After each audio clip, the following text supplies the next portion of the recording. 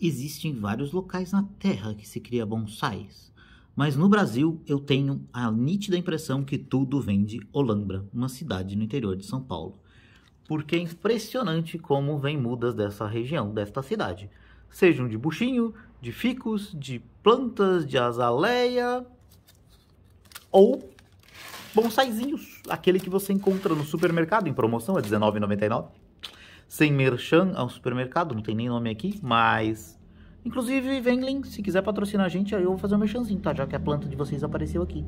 Deem mudinhas para nós, a gente adoraria fazer mais bonsais com essas pequenas mudas. Por quê? Você provavelmente chegou até aqui porque pesquisou na internet o que fazer com o bonsai. Como criar um bonsai? Dicas de bonsai para iniciante. O que fazer com o bonsai de supermercado? Sim, várias e várias formas de perguntar a mesma coisa ganhei ou comprei no supermercado um pequeno bonsaizinho e agora não tenho a mínima ideia do que fazer. Então, para você que está aqui, como eu, pensando o que fazer, nada de pensar, mãos na massa, eu vou mostrar para vocês desde o começo. É por isso que eu comprei essa famigerada muda de goiaba. Dois motivos. Primeiro, para quem acompanha aqui os vídeos do canal, a gente sabe que a gente gosta de gastar pouco, fazer as nossas próprias coisas. E sim, Comprei em promoção, o preço normal dela é uns R$ reais, R$19,99 eu achei o preço interessante. Mas não foi só pelo preço que eu fui atraído por essa muda. Eu fiquei atraído porque eu não tenho até agora, não tinha, agora eu tenho, uma mudinha de goiaba. Para quem acompanha aqui os nossos bonsais foguetes, sabe que a gente está fazendo, vou até botar o card aqui na descrição, uh, bonsais mais rápidos, partindo da ideia de ter goiabeiras, mas com araçá, que é uma goiaba pequenininha, uma frutinha típica do nosso cerrado, e que é maravilhosa de comer e como bonsai, porque ela tem as folhinhas menores. Mas de fato, agora eu vou para o trabalho duro, para a dificuldade. Vou fazer um bonsai de goiaba. Mas para vocês vai ficar a dica. Acompanhe essa playlist, porque eu vou começar hoje com a dica número 1, um, passo 1 um para cuidar do seu bonsai de supermercado.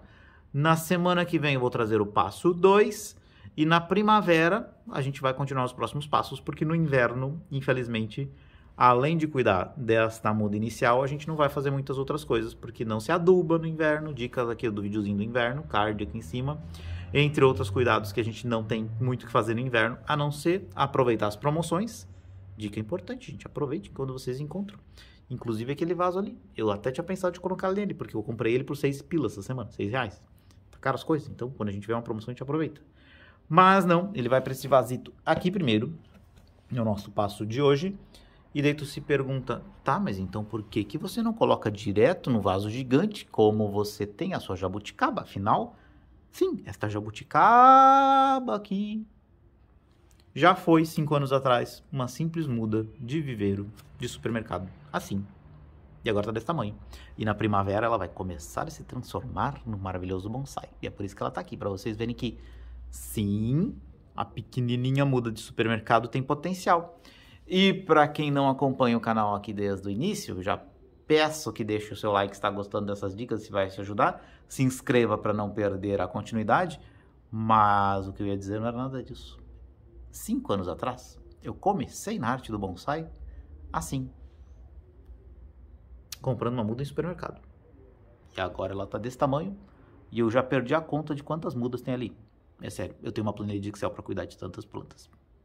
Sim, são várias. Eu, não, eu, erro, eu vou errar os vídeos e as adubações. Então, tá tudo ali bem planilhado no Excel.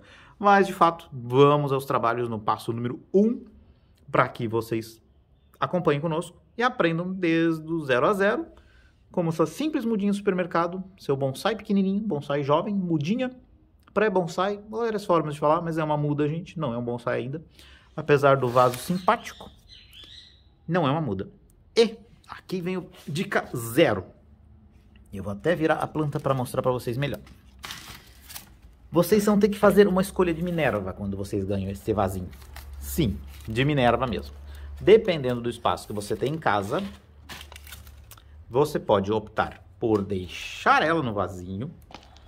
Inclusive aqui eu já estou dando um vasinho upgrade, versão 2, um pouquinho maior mas que leva muitos e muitos milhares de anos para ficar grande.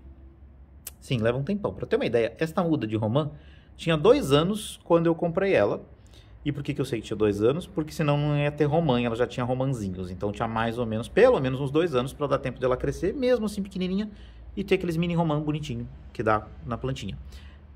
E eu já tenho ela dois anos. Em quatro anos, tá desse tamanho. Em cinco, quatro, cinco. Cuidado do vaso. Então, hashtag fica a dica. Se você quer efetivamente criar o seu bonsai para ficar grande, forte, bonito, se você tem um pouco de espaço em casa, considere seguir esse passo 1. Um, transplantar a muda para um vaso maior. E é o que a gente vai fazer hoje aqui. Bem simples, bem fácil.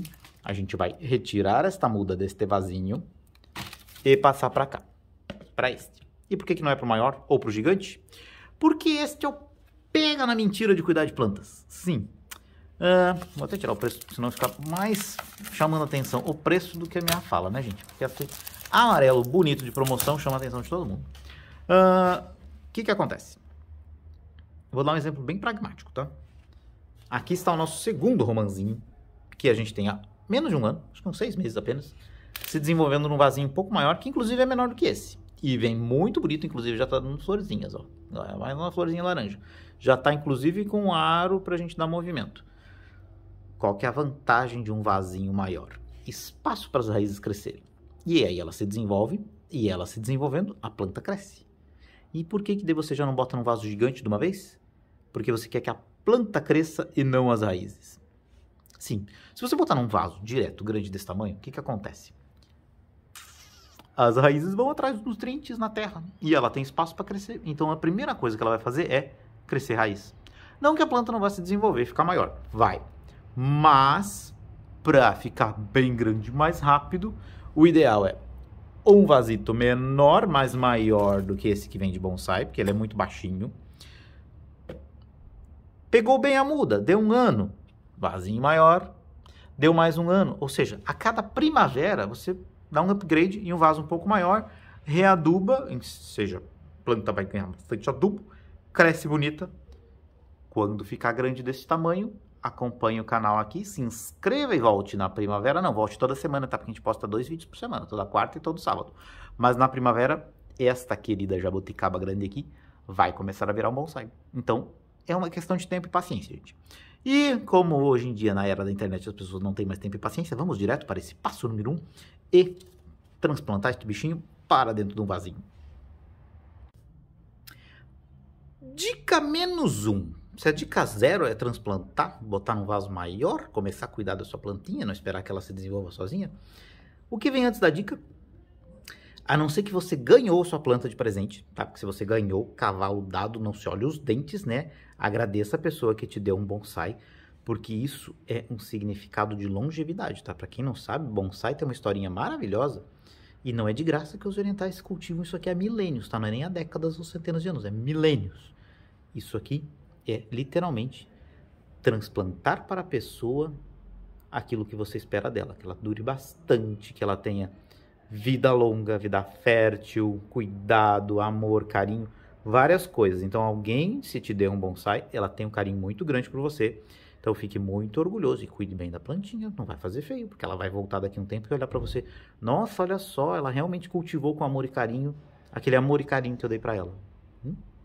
Mas qual que é a dica que você, se você vai comprar, ou se você está passando no supermercado, achou bonitinho, quer levar para casa? Escolha uma planta que vai ficar bonita daqui a uns 5 anos. Como é que você sabe que ela vai ficar bonita daqui a uns 5 anos? Duas coisas. Primeiro, ela já tem um tronco bem desenvolvido e bonitinho. Bonitinho por quê? Porque às vezes, como essas plantas ficam no viveiro por bastante tempo, o pessoal literalmente corta. Aí fica um tronco seco, feio, reto e começa a brotar bonitinho parece bonitinho agora, mas daí pensa assim, tu vai crescer ela bonita com aquele tronco cortado e abaixinho. Porque se fosse grande, a gente tem vários, vários mudas aqui no, no canal que a gente já está transplantando para ganhar tempo, a gente já compra uma muda de viveiro alta.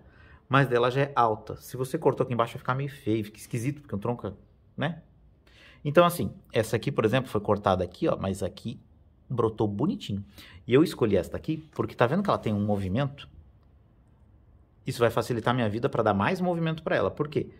Imagina na natureza, você vai ter a árvore crescendo, frondosa, maravilhosa, bonita, grande, curvada, com várias anuâncias que parece ser uma árvore, porque ela é uma árvore. Quando você bota ela num vasinho pequenininho, como é que você faz isso parecer que é real num vaso pequeno? Então vai ser com arame, vai ser com dobra, vai ser com movimentos como esse aqui do romanzinho, que a gente está direcionando ele com o arco. Então, se você já escolher uma muda que já venha com uma curva bonita, ou que seja jovem, bonitinho o suficiente para você poder malhar ela com arame, tá vendo que dá para dobrar ela que ela não quebra, não vou exagerar, também não vamos quebrar, né?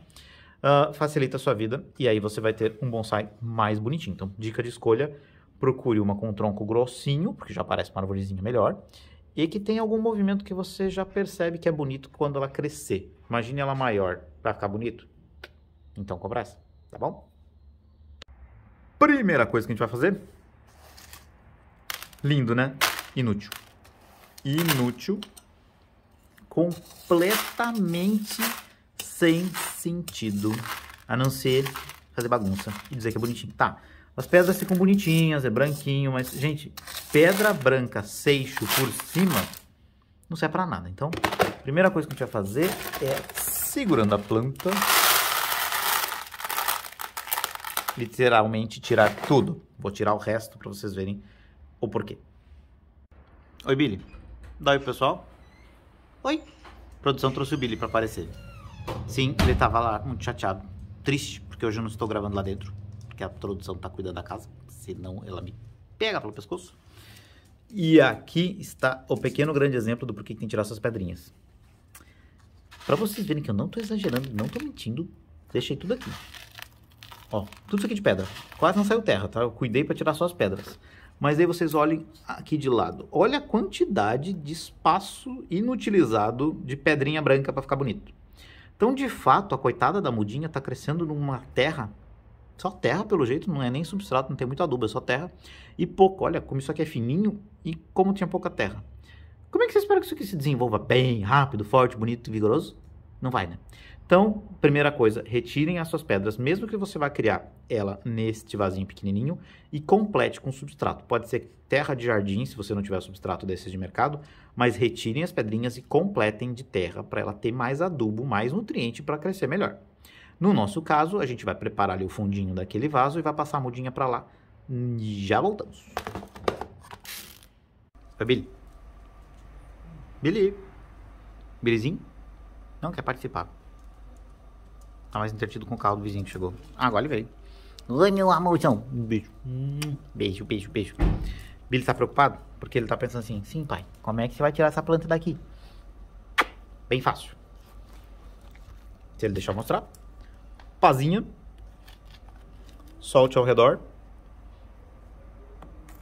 Soltei, facinho. Não, eu não sumi com as pedras brancas, eu guardei elas para um projeto futuro. Acompanhe no canal, na próxima elas vão voltar para alguma coisa. Basicamente, ó, solte os torrão, tá vendo que o resto nem tem raiz? E, ó, que tranquilidade, passe para outro vasinho. Complete de substrato e tá tranquilo e bom. Não mexa muito nas raízes, principalmente se você está fazendo isso como eu no inverno, porque no inverno a planta cresce menos, né, obviamente. É, algumas até nem crescem, né, entram em período de dormência, então cheque isso inclusive, tá? Não faça isso aqui com amoras ou plantas que entram em dormência, caquizeiros, aquelas que se desligam no inverno, perdem todas as folhas, tá? Aí você espera dentro do vasinho até passar o inverno. Outras já dá para transplantar. E agora eu vou completar de substrato e tá feito, gente. Prontita. Feita. Muito bem guardada, colocada. Passo 1 um do seu cuidado do seu bonsai. Feito, gente. Sem segredo. Um segredo importante. Dedinhos 2. Aperte a terra ao redor aqui eu já apertei bastante, só estou mostrando para vocês, para que o substrato desça e penetre bem na terra, nos espaços ao redor da planta, porque aqui no meio está a terrinha que tinha aqui dentro, aquela terra vermelha. E aqui do lado eu completei com o substrato. Então você aperta bem para ficar bem firme, não ficar espaço vazio, onde pode criar fungos ou alguma coisa quando você regar e com o apodrecimento natural do que tiver aqui dentro do substrato. Rega, guarda, tranquilo. Dica importante, frio, inverno, pouco sol, coloque ela em meia sombra, um lugar que pegue pelo menos sol da manhã, na janela do seu apartamento, em algum local que pegue sol de manhã. Mesmo que é frio, gente. Se você bota tarde pega um sol muito grande, pode ter o risco de matar sua muda que acabou de ser transplantada. Então, cuidadinho redobrado nesse momento do transplante é cuidar com a rega, deixar sempre úmido, daí você checa aqui. Ah, Como é que eu sei que está úmido? Ó? Não tá, não gruda a terra no dedo. Se tivesse molhadinho, gruda no dedo. Depois que eu molhar, isso acontece. É mais fácil de cuidar. Se inscreva no canal e não perca na semana que vem o passo 2 do cuidado. Utilizar arame, se você tem em casa, ou caso não tiver, pode ser feito de outra forma, que a gente vai explicar, para aproveitar e já começar desde pequenininha a dar movimento ao bonsai. Passo 2, dica da semana que vem, não perca.